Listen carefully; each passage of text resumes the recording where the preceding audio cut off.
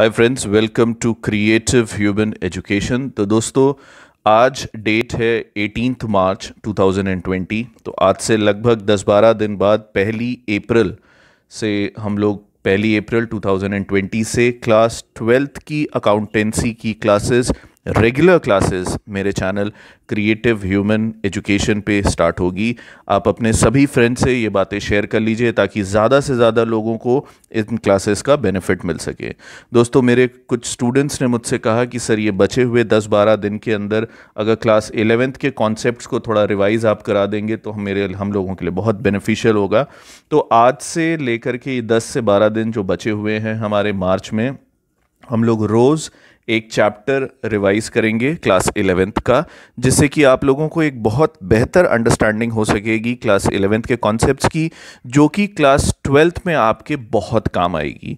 तो दोस्तों, अगर आप मेरे चैनल पे नए हैं और आपने मेरे चैनल को अभी तक सब्सक्राइब नहीं करा है तो उसे सब्सक्राइब कर लें बेल आइकन दबाएँ, ताकि लेटेस्ट नोटिफिकेशंस आपको मिलती रहे।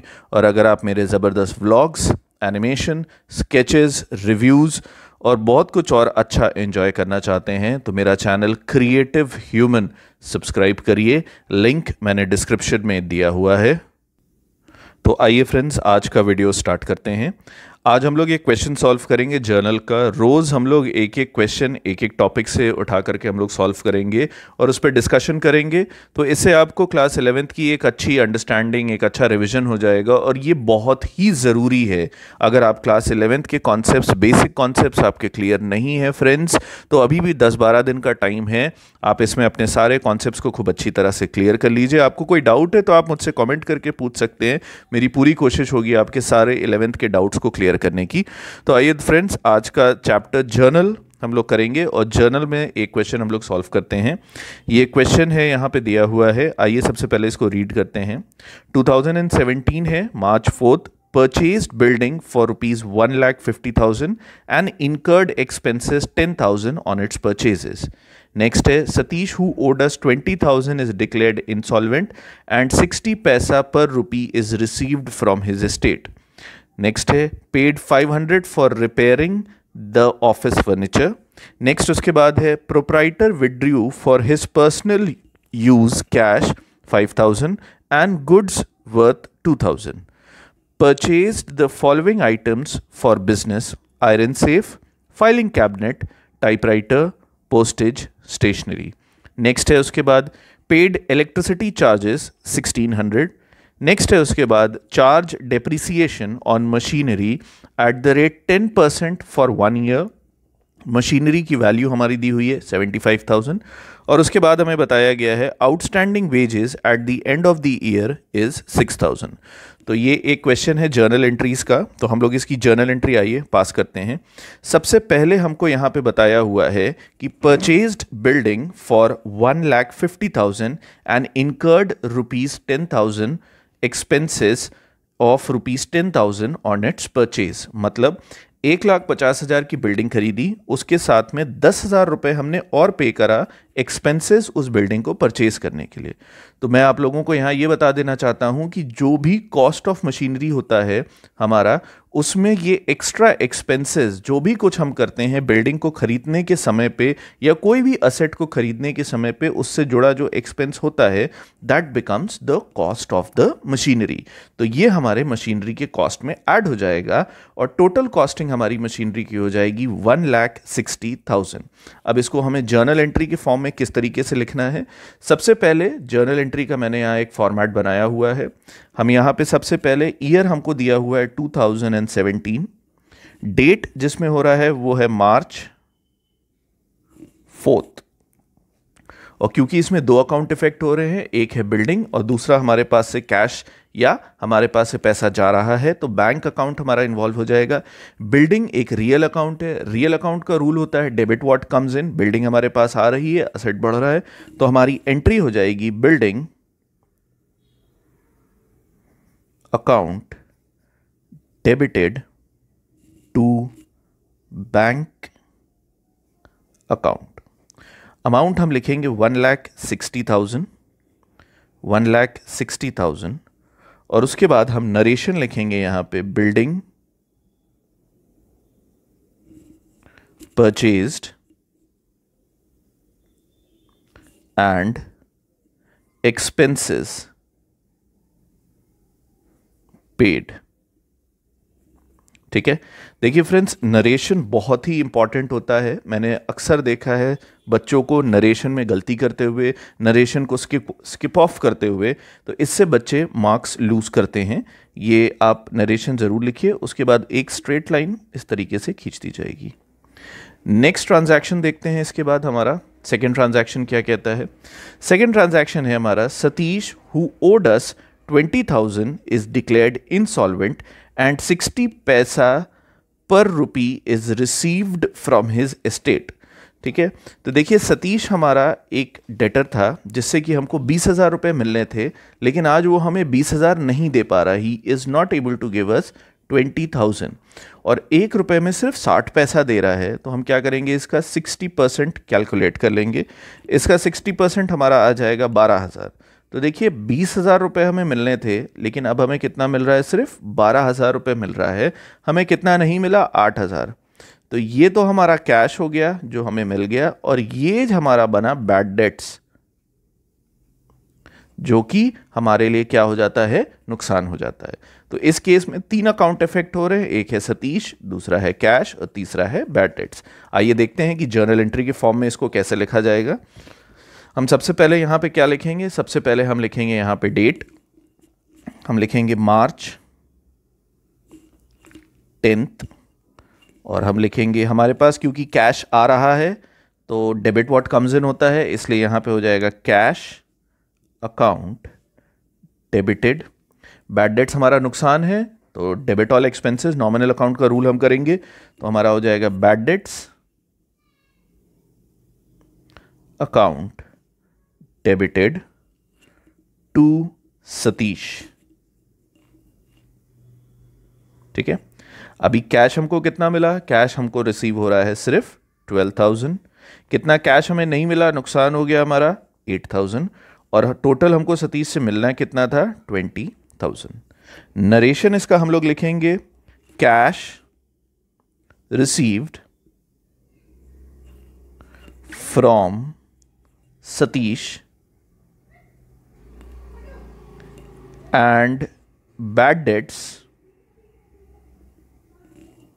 written off ठीक है? और एक स्ट्रेट लाइन हम यहाँ पे खींच देंगे। आइए नेक्स्ट थर्ड ट्रांजैक्शन देखते हैं। पहले दो तो हम लोगों ने कर लिए। उसके बाद तीसरा ट्रांजैक्शन है हमारा paid 500 for repairing the office furniture तो एक तो हमारा रिपेयर्स अकाउंट इफ़ेक्ट हो गया और दूसरा, उसके बाद हमारा क्या खर्चा हो गया? कैश क्योंकि खर्चा हुआ है तो कैश हुआ है, इसलिए नेक्स्ट अकाउंट जो सेकंड अकाउंट इफ़ेक्ट हुआ है हमारा इस केस में, वो है कैश सबसे पहले हम क्या लिखेंगे? सबसे पहले हम डेट लिखेंगे यहाँ पे.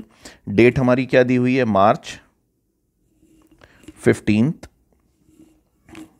repairs account nominal account होता है. नॉमिनल अकाउंट का रूल होता है डेबिट ऑल एक्सपेंसेस तो हम यहाँ पे रिपेयर्स को डेबिट कर देंगे. एंट्री बनी repairs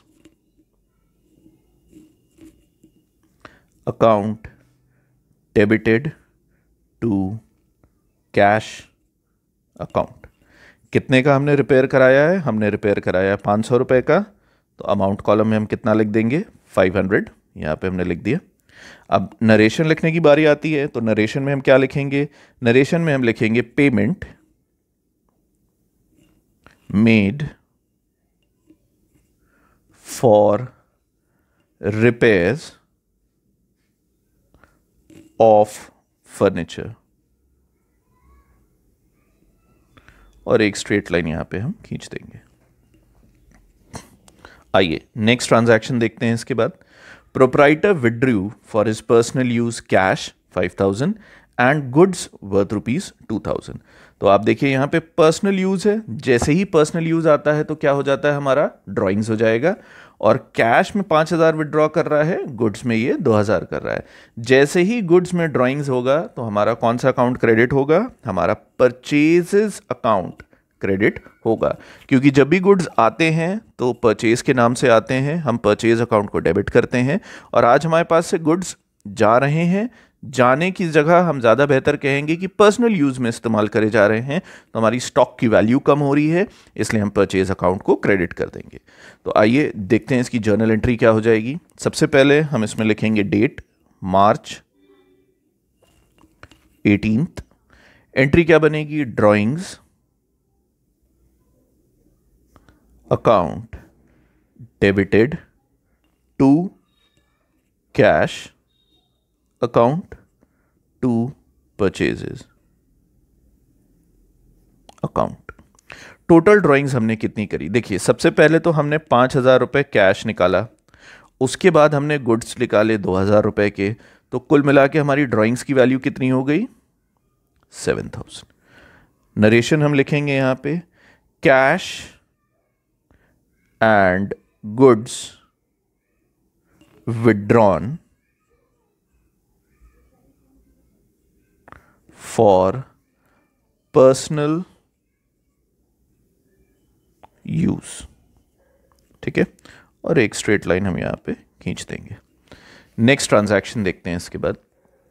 नेक्स्ट ट्रांजैक्शन बताता है purchased the following items for business iron safe पंद्रह हज़ार। Filing cabinet five thousand typewriter बारह हज़ार। पोस्टेज दो सौ।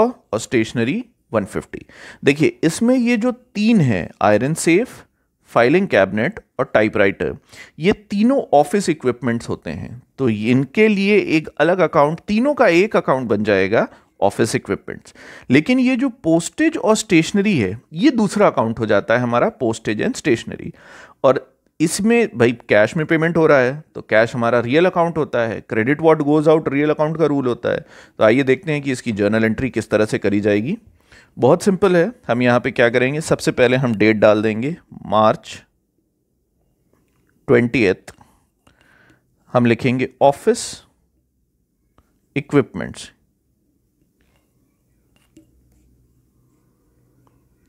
account debited to cash account देखिए, आप इसकी कंबाइंड एंट्री भी कर सकते हैं, उसमें कोई गलती नहीं है, लेकिन बेहतर होगा कि आप इसकी दो अलग अलग एंट्रियाँ करें।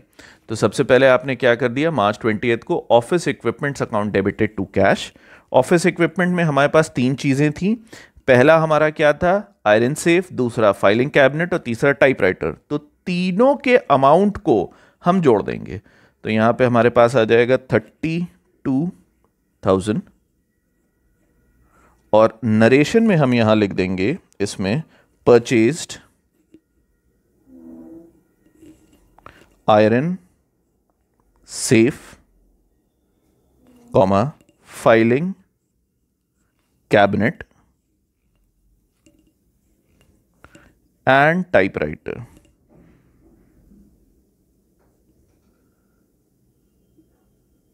ठीक है? और एक स्ट्रेट लाइन हम यहाँ पे खींच देंगे। इसके बाद हम पोस्टेज एंड स्टेशनरी जो हमने खरीदा है, जो परचेज करी है, उसकी एंट्री पास करेंगे। लेकिन डेट सेम रहेगी। डेट हम यहाँ डालेंगे मार्च ट्वेंटी क्या लिखेंगे हम? Postage and stationery account debited to cash account. और दोनों जो हमारा पोस्टेज पे दो सौ रुपये गया है और स्टेशनरी पे हमारा वन फिफ्टी गया है तो दोनों को हम ऐड कर देंगे। यहाँ पे हमारा हो जाएगा three fifty and three fifty narration हम यहाँ पे लिखेंगे expenses paid for postage and stationery और एक स्ट्रेट लाइन हम यहाँ पे खींच देंगे। नेक्स्ट ट्रांजैक्शन हम देखते हैं। पेड इलेक्ट्रिसिटी चार्जेस 1600 भाई इलेक्ट्रिसिटी चार्जेस पे करा। इलेक्ट्रिसिटी चार्जेस हमारा नॉमिनल अकाउंट होता है। नॉमिनल का रूल क्या होता है? Debit all expenses and losses तो इलेक्ट्रिसिटी चार्जेस हमारा क्या हो जाएगा? डेबिट हो जाएगा। और हमने दिया क्या? हमने कैश दिया। कैश हमारा रियल अकाउंट होता है। तो रियल अकाउंट हमारा क्या रूल है? Debit what comes in credit what goes out cash हमारे पास से जा रहा है तो हम उसको क्या कैश को क्या कर देंगे? क्रेडिट कर देंगे। तो हम सबसे पहले डेट डालेंगे मार्च ट्वेंटी एथ, अट्ठाईस तारीख। Entry electricity charges charges account debited to cash account amount कितना हमने दिया? सिक्सटीन हंड्रेड ठीक है? नरेशन हम इसका क्या लिख देंगे? नरेशन है एक्सपेंसेस या आप चाहें तो ऐसे लिख सकते हैं पेड इलेक्ट्रिसिटी चार्जेस ठीक है? और एक स्ट्रेट लाइन यहाँ पे इस तरीके से आप खींच देंगे। नेक्स्ट ट्रांजैक्शन उसके बाद हम लोग देखते हैं। ये वाला हम लोग ने कर लिया पेड इलेक्ट्रिसिटी चार्जेस और हमारे नेक्स्ट अभी इसके बाद जो ट्रांजैक्शन है, वो है charge depreciation on machinery at the rate ten percent for one year machinery की वैल्यू सेवेंटी फाइव थाउज़ेंड दी हुई है। भाई, सीधी सी बात है, अगर पचहत्तर हज़ार रुपये हमारी मशीनरी है और उसका हमें कितना कैलकुलेट करना है? टेन परसेंट कैलकुलेट करना है तो कितना आ जाएगा? सात हज़ार पाँच सौ। डेप्रिसिएशन हमारा नॉमिनल अकाउंट होता है। नॉमिनल अकाउंट का रूल होता है debit all expenses and losses और यहाँ पे मशीनरी हमारी डेप्रिसिएट हो रही है। तो जब मशीनरी डेप्रिसिएट हो रही है तो असेट का रूल होता है debit increase in asset credit decrease in asset हमारा असेट की वैल्यू कम हो गई तो हम क्रेडिट डिक्रीज इन असेट करेंगे। और हम यहाँ पे क्या कर देंगे? मार्च सबसे पहले हम डेट डालेंगे मार्च पहले तो यहाँ पे ईयर आप लिख दीजिए, फिर उसके बाद लिखिए March thirty first. Entry depreciation account debited to machinery account. कितना अमाउंट हो जाएगा? सात हज़ार पाँच सौ और सात हज़ार पाँच सौ। नरेशन लिखेंगे हम डेप्रिसिएशन charged on machinery. ठीक है? एक स्ट्रेट लाइन हम यहाँ पे क्या करेंगे उसको? खींच देंगे। नेक्स्ट देखते हैं इसके बाद हमारा क्या दिया हुआ है। Outstanding wages at the end of the year six thousand. देखिए, दो अकाउंट इस केस में इफ़ेक्ट होंगे। एक तो हमारा आउटस्टैंडिंग वेजेस हो जाएगा और एक हमारा वेजेस अकाउंट होगा। आउटस्टैंडिंग वेजेस हमारा रिप्रेजेंटेटिव पर्सनल अकाउंट है, ठीक है? और वेजेस हमारा नॉमिनल अकाउंट है। जर्नल एंट्री इस केस में हमारी क्या बन जाएगी? सबसे पहले हमको क्या करना है? सबसे पहले हमको यहाँ पे लिखना है date March thirty first entry wages account debited to outstanding wages. क्योंकि आउटस्टैंडिंग वेजेस हमारा क्या होता है? रिप्रेजेंटेटिव पर्सनल अकाउंट अमाउंट हम कितना लिखेंगे? सिक्स थाउज़ेंड और सिक्स थाउज़ेंड नरेशन लिखेंगे outstanding wages recorded outstanding wages recorded ठीक है? एक स्ट्रेट लाइन यहाँ खींच देंगे और उसके बाद हम अमाउंट कॉलम का टोटल करेंगे। तो इधर हमारा टोटल आएगा two lakhs thirty four thousand nine fifty और इधर भी आएगा two lakhs thirty four thousand nine fifty तो फ्रेंड्स ये हमारा एक छोटा सा क्वेश्चन था जर्नल का, जिसको हम लोगों ने अभी सॉल्व किया और आज के रिवीजन में हम लोगों ने जर्नल किया है। कल हम लोग नेक्स्ट चैप्टर रिवाइज करेंगे और इसी तरीके से मार्च के जो बचे हुए दिन हैं, हम लोग इसमें एक एक करके क्लास इलेवेंथ के चैप्टर्स को रिवीजन करेंगे। अगर आपके कोई भी डाउट्स हैं, कोई भी चीज़ आप पूछना चाहते हैं तो प्लीज़ मुझसे कमेंट करके पूछिए। मेरी पूरी कोशिश होगी आपके सारे डाउट्स को क्लियर करने की। और याद रखिएगा फ्रेंड्स फ़र्स्ट अप्रैल 2020 से हमारे क्लास ट्वेल्थ के अकाउंटेंसी के regular classes chapter wise detail में स्टार्ट होंगे हमारे चैनल क्रिएटिव ह्यूमन एजुकेशन पे। तो दोस्तों, बने रहिए चैनल पे। कल फिर मुलाकात होगी। तब तक के लिए बाय बाय